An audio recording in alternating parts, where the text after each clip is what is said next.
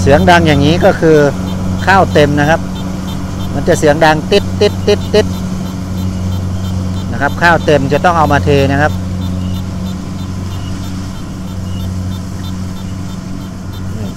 ข้าวเต็มแล้ว ต้องเอามาเทแล้วครับ เทก็คือเทรถอีแตนที่เราเตรียมไว้นี่แหละ มาเลยมาเลยครับ ทุกหนึ่งตันจะมีสัญญาณเตือนอเตือนเหมือนบอกว่าเต็มแล้วนะ เอามาเทได้แล้วนะนะครับ ก็จะมีรถอีแตนจอดรออยู่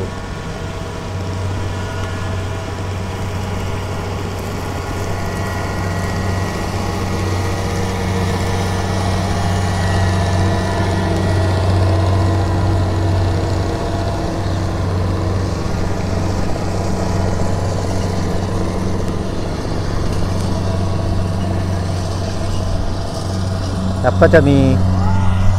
จะมีรถอีแตนจอดรออยู่นะครับดูโฉมหน้าคนทำคลิปนะครับเป็นดาราได้ไหมนี่นะครับก็เมื่อเต็มแล้วก็ต้องนำมาเทนะครับ เทใส่รถอีแตน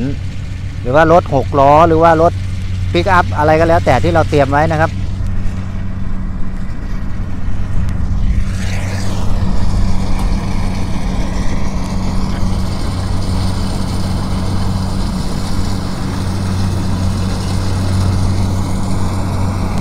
นี่ ก็คือนาตาไล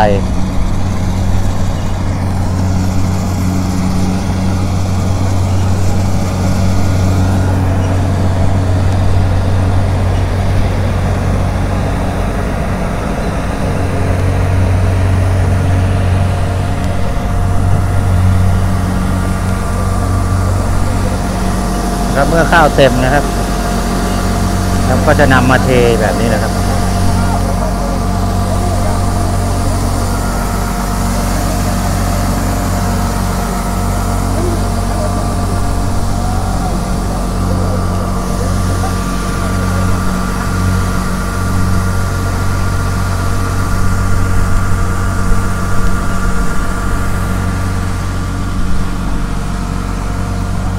โฉมหน้ารถเกี่ยวข้าวนะครับ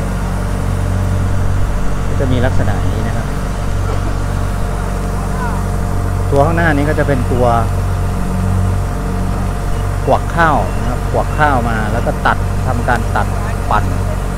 ดูดเข้าไปในเครื่องปั่นนะเมื่อได้ปั่นเข้าไปฟางก็เป่าออกมาข้าวเปลือกก็เอาเข้าไปเก็บนะครับข้าวเปลือกเอาเข้าไปเก็บได้หนึ่งตันแล้วก็ต้องมาเทแบบนี้นะครับ ก็จะมีสัญญาณดังก็เอามาเทนะครับ นี่ก็คือข้าวหนึ่งตันนะครับ จะมีเครื่องอัดออกมานะครับ ข้าวออกมาหมดทุกเม็ดเลยนะครับ ตามหลักการแล้วต้องออกทุกเม็ดนะครับ ถ้าออกไม่หมดทุกเม็ดอ่าก็ต้องซ่อมนะครับ ถือว่าเครื่องนั้นเสียใช้ไม่ได้นะครับคันนี้ก็เดี๋ยวก็ถ้าเต็มก็มีสัญญาณดังนะครับ เดี๋ยวก็ต้องมาเอามาเทนะครับ เทก็ไม่ใช่ว่าเทอย่างเดียวนะครับก็มีเครื่องอัดออกนะครับ เครื่องอัดข้าวดันข้าวออกมานะครับ